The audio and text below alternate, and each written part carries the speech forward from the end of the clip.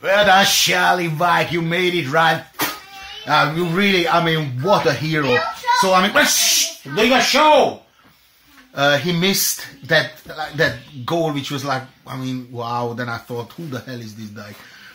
And then a, a few minutes later, in the 33rd inch or 33rd minute, I just seen the, the English thing. Uh, he just whacked it in the beyond belief, and then after that, he went like. If he would have done that in East London, it would have cost him 80 quid because of the of the uh, Bangladeshi and stuff living down there. You know, that the from the tobacco, they whack the schlatz, ne? They, they, they whack the, the brown stuff on the on the basement, like, goes off like a like a rotten banana. You know what I mean?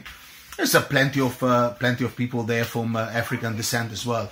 Um, very very few. I mean, it's, it's such white, you know, from that respect, uh, people down in around the Upton Park area, you know, but less and less. But in Sunderland, on the other end, they play a different tune because they have child died.